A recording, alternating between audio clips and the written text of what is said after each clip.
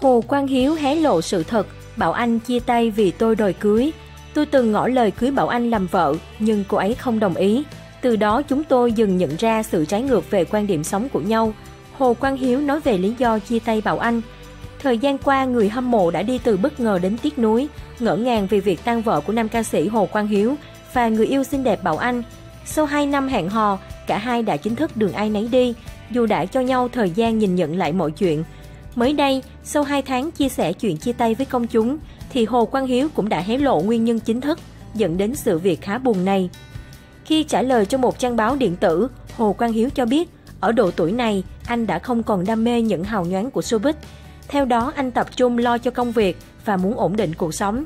Đặc biệt khi anh ngỏ lời muốn lập gia đình, thì đã nhận phải sự từ chối của tình cũ.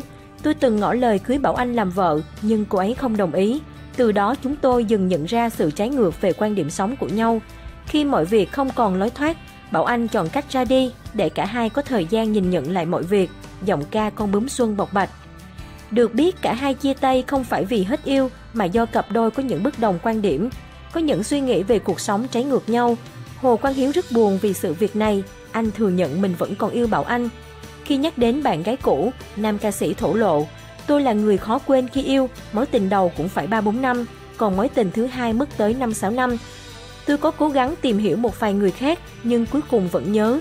Chuyện tình với Bảo Anh cho đến giờ tôi vẫn chưa quên, vẫn nhớ nhiều kỷ niệm. Đi ăn, đi chơi hay làm gì, tôi cũng nhớ tới Bảo Anh. Bảo Anh cũng từng khóc nức nở khi nói về chuyện tan vợ với Hồ Quang Hiếu. Hồ Quang Hiếu Bảo Anh quen nhau kể từ những chuyến lưu diễn châu Âu, họ chính thức xác nhận hẹn hò vào tháng 10 2016. Trước nhiều nghi vấn của khán giả, chính nam ca sĩ đã đăng tải một dòng trạng thái cá buồn khi cả hai quyết định dừng lại mối quan hệ tình cảm. Việc tan vỡ của cặp đôi này đã làm khán giả vô cùng tiếc nuối và luôn mong mỏi họ sẽ trở về với nhau. Tuy nhiên, sự việc này khó có thể xảy ra vì trước đó cả hai đã cho nhau thời gian nhìn nhận lại mọi thứ mới quyết định chia tay.